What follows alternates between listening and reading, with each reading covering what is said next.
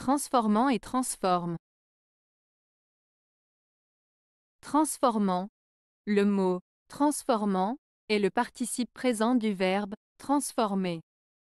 Il est utilisé pour décrire une action en cours de transformation ou de changement. Exemple, les élèves transformant leur salle de classe en laboratoire scientifique.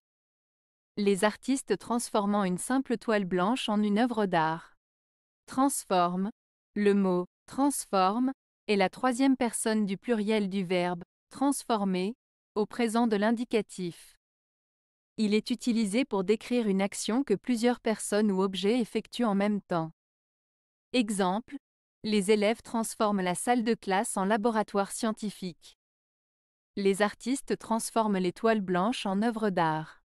Différence.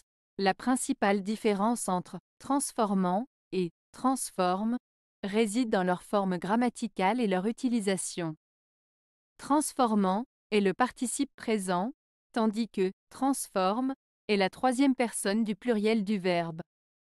Transformant est utilisé pour décrire une action en cours de transformation, tandis que transforme décrit une action effectuée par plusieurs personnes ou objets en même temps.